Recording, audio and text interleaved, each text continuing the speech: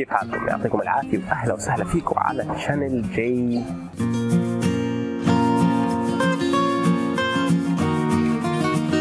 Talks جاسر مصطفى للي مش متابع القناه وهاي channel J Talks واليوم أنا بدي احكي لك عن شغله كثير مهمه شغله انسالت عنها كثير كثير كثير كثير كثير كثير كثير كثير كثير كثير قد الكوكب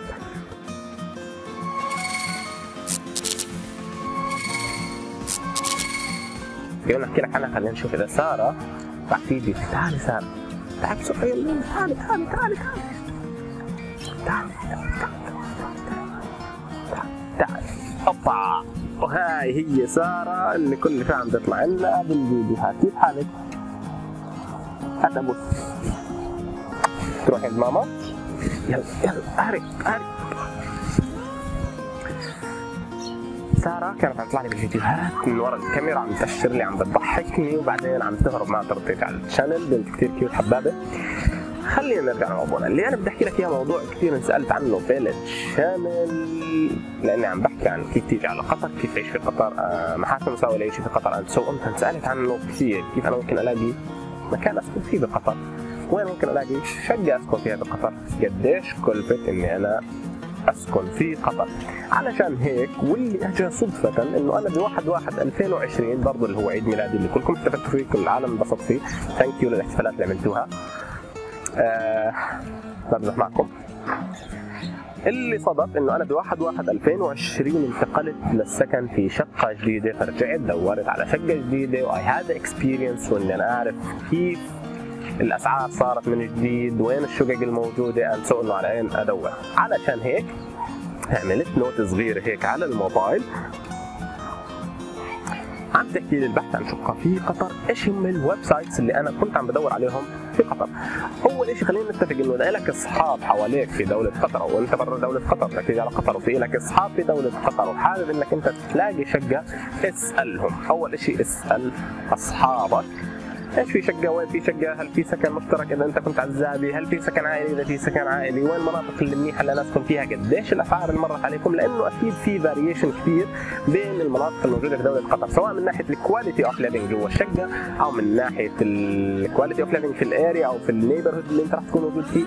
أو الأسعار اللي أنت راح تتطرق لها المساحات and so فأنت بتشوف شو اللي بيناسبك وبتدور عليه. فأول شيء بدك تسأل أصدقائك أو معارفك اللي موجودين في دوله قطر اللي حواليك واللي بعد عنك على أساس إنك أنت تعرف إيش الأشياء ال available الشغلة الثانية اللي أنا بنصح إنه الناس تشوف عليها اللي هي ال groups الموجودة على الفيسبوك whatever الشعب in قطر المغتربين في قطر المغتربين الاردنيين في قطر المصريين في قطر مناديب قطر آه، الاسكانات في قطر آه، قطر expat living and blah blah blah في عندي groups كثير على الفيسبوك أنت ممكن تستفيد منها.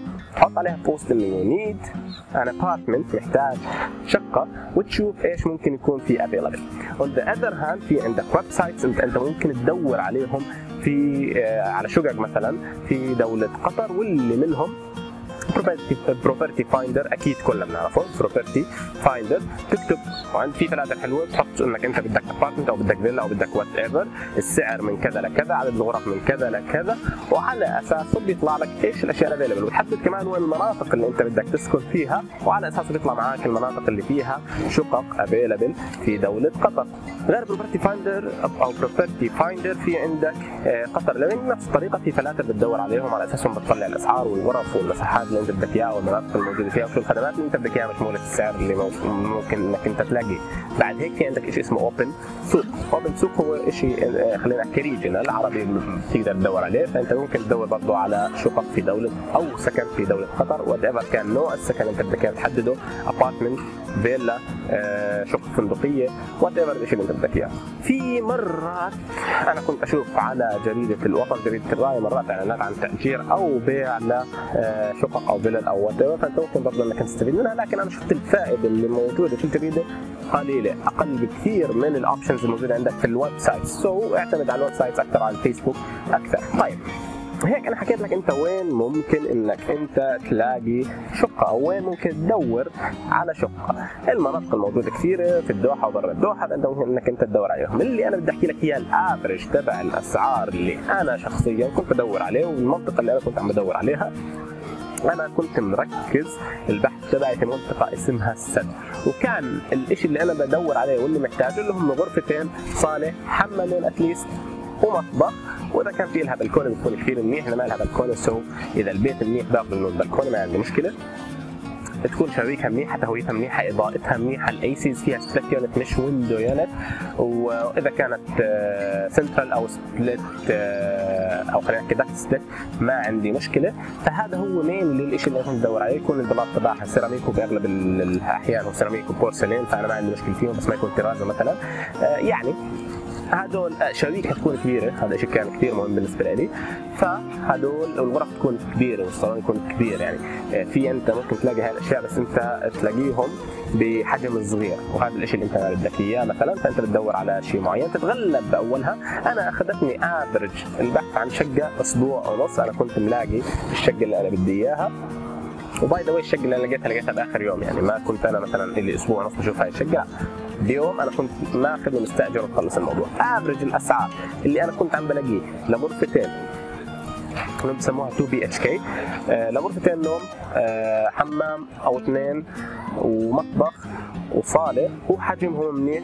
كانت الأسعار تتراوح من 4000 لخليني أحكي ل 6000 4000 ريال ل 6000 ريال. وإذا أنت حاب تعرف السعر بالدولار ف simply بس اكتب على جوجل convert أو transfer from QAR to USD whatever العمله اللي بدك اياها transfer from QAR to JOD transfer from uh, QAR to يورو مثلا. so so, انت بتقدر انك انت تدور وتشوف شو الأسعار. فكان average الأسعار بين 4000 ل 6000 قليل جدا بلاقيه ب 4000 كنت اللي عم بلاقيه كان 4500 5000 كنت الاقي دائما كثير كثير. 5000 هذا الوضع الطبيعي إنك تلاقي 5000 غرفتين 6000 بصفي إنه أنت بتلاقي بس quality أحسن. وكل ما طلعت بالرقم طبعا في أكثر من 6000 yes في أكثر من 6000 في أكثر من 7000 yes في أكثر من 7000 في أكثر بكثير من الأرقام اللي أنا بحكيها. لكن هذا ال average اللي خليني أحكي السواد الأعظم من المغتربين الموجودين في دوله قطر هم عم بدوروا عليه. so أنا اللي استأجرتها بالآخر. كان أجارها غير شامل ولا أي شيء من الخدمات. ما في أي شهر free ما في أي فترة free كان 4500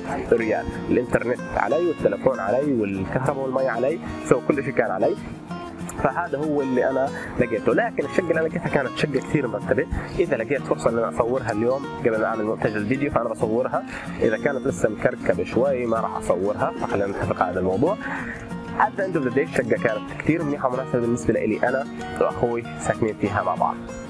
So الأماكن اللي أنا كنت أدور فيها واللي كان ممكن آخذ فيها كان definitely السد لأن أنا already كنت ساكن بالسد قريبة على شغلي وأنا بنصح أي حدا يلاقي شقة يلاقيها قريبة على شغله. so so, السد كانت my first priority أو top priority دورت كمان في منطقة اسمها النصر في الدفنه في الويست باي في لوسيل في آم غولينا في منطقة اسمها مشيرب في منطقة اسمها بن محمود في منطقة اسمها بن عمران وفي منطقة اسمها الثمامه هذول المناطق اللي أنا كنت مركز البحث فيهم.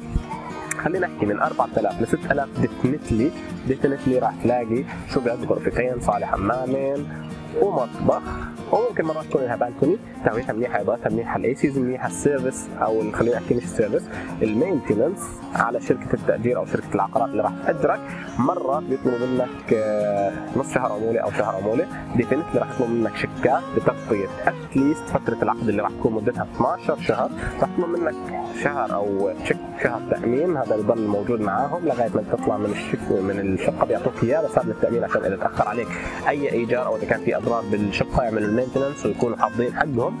آه إذا حطيت موعد الشيك في يوم معين هو راح ينزل بهذا اليوم. ما أتوقع إنه راح يتأجل. فأنت دائما اعتبر إنه أنت لما تحط موعد الشيك حطه مثلا ب 10 اشهر أنا شخصيا حطيت كل cheques تبعوني حطيتهم ب 15 الشهر. so أنا لو تأخر علي الشركة شوي بالراتب at least إما بكون نزل الراتب من 1 ل 15 شهر أو بكون أنا دبرت أموري وعرفت امن إيجار الشقة تبعي من 1 ل 15 شهر. at least إما بكون نزل الراتب تبعي أو بكون أنا قدرت أدبر أموري من 1 ل 15 شهر بان أنا امن إيجار الشقة. عشان ما يتأخر لأنه مش حلو أو مش لطيف بالنسبة لك إنت ترجع لك cheques لأنه في في قطر شيء اسمه قطر credit bureau أو I think مركز تأمين قطر شيء زي هيك؟ ناسي شو اسمه بالعربي. آه بنطلب منك مرات إنه أنت تعمل آه تقرير ائتماني من قطر credit bureau عشان يبين شو وضعك ال financial في دولة قطر. فكان لك cheques مرتجعه ممكن تأثر عليك في المعاملات اللي أنت ممكن حابب إنك تكون تعملها في أي دولة من الدول أو داخل دولة قطر. هاي كل المعلومات اللي أنا بدي أحكيها عن السكن في دولة قطر. آه للمرة الأخيرة ميزات الشقة اللي أخذتها هي عبارة عن غرفتين. صاله حمامين مطبخ covered parking مأمن. ال maintenance على الشركة. شبابيكها منيحة اضاءتها منيحة تهويتها منيحة ال AC split units المنطقة اللي أنا اخذت فيها بالسد. والشقة عبارة عن شقة في بنايه سوري عن شقة في بناية مش شقة في فيلا مقسمة هذا كل شيء للفيديو تبع اليوم. إن شاء الله إنه يكون مفيد. وإن شاء الله إني أكون أنا جاوبت الأسئلة اللي تجيني بالنسبة لموضوع السكن والشقق والفيلا الموجودة في دولة قطر. وشكرا لكم ويعطيكم ألف عافية.